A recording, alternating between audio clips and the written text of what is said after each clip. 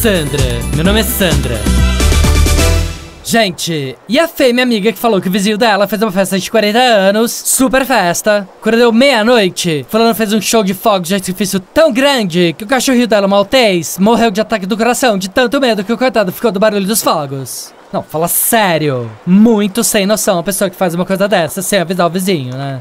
Por isso que eu tô me juntando, eu e a Fê, nós vamos montar uma ONG pra ajudar cachorros que têm medo de fogos de artifício. Parece uma louca, né?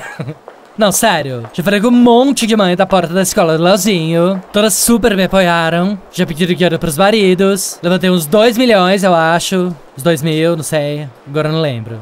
Enfim, levantei um dinheiro lá, tô super organizando um show de fogos, de artifício, né? Semana que vem, pros donos irem com os cachorros, pra ensinar como é que é, pegar no colo, pra eles acostumarem com o barulho, pereré, e não morrerem de ataque do coração, né? A gente vai começar com uma biribia, duas, um rojão, vai crescendo até terminar com um mega show de meia hora de fogos, tipo para de Copacabana. Pros cachorros se acostumarem com o clima de Réveillon, pereré. Vamos ensinar o cachorro também a beber champanhe na tacinha, pra poder acompanhar os donos na balada. Só não vale dar selinho no cachorro, que aí já é demais, né? Ah, parece uma louca, né? Não, tá bom, vai. Lambidinha na boca do dono, com a boca bem fechada, assim. Escondendo o lábio assim, tudo bem, né? Vamos falar a verdade, né? Quem nunca? Sandra, meu nome é Sandra.